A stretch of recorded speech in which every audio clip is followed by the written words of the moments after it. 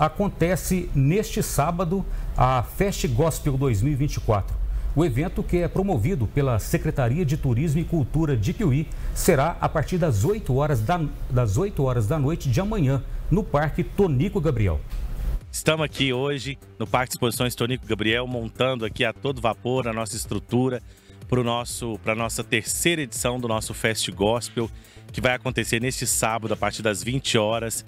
É uma grande estrutura aqui no Parque de Exposições, como, como os ouvintes podem ver, acompanhar aí. Né? A gente colocou, posicionou o palco aqui no final aqui dessa rua principal aqui do Parque de Exposições, onde vai ter barraca aqui, praça de alimentação, uma grande área para as pessoas ficarem, amplos banheiros, masculino e feminino. Então é um espaço grande, um espaço muito bacana para receber toda a família piuiense, todos os nossos turistas, o público de todas as igrejas, tanto evangélicas quanto católicas, até aqueles que não, não têm religião. Né? A festa é para todos, é um momento de louvor, é um momento de adoração a Deus e a gente convida todas as pessoas da nossa cidade, toda a família de Piuí região, para vir com a gente nesse sabadão participar. Promete. Nós vamos ter quatro bandas aqui se apresentando antes do show principal. E o show principal da noite, Jefferson e Suelen, pela primeira vez aqui na nossa região.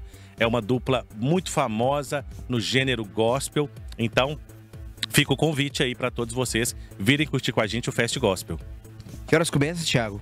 Nesse sabadão, a partir das 20 horas, 8 da noite, entrada gratuita pelas duas entradas, tanto pela entrada principal aqui do Parque de Exposições, quanto pelo estacionamento, e o estacionamento gratuito também. Então, a gente é, pode vir com o seu veículo, que você vai ter o estacionamento de forma gratuita, entrada gratuita também. É, nesse sábado, a partir das 20 horas, nossa terceira edição do Fest Gospel, com um grande show aí dos cantores Jefferson e Suelen. Tá certo, Thiago. Muito importante, né, ter essa preocupação de trazer, aí, abranger, incluir o gospel aí também na toda essa programação do município, né?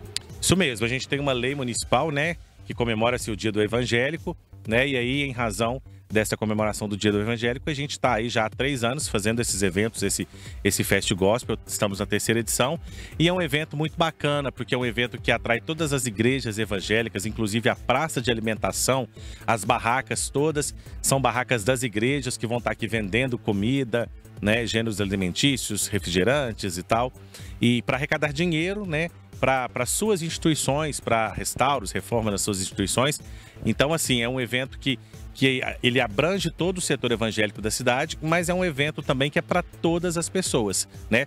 O show é um show gospel, vai ter um, é um momento de louvor, adoração a Deus, mas é um show de portões abertos aí para todas as pessoas de todas as religiões que queiram participar, que queiram vir aqui louvar a Deus.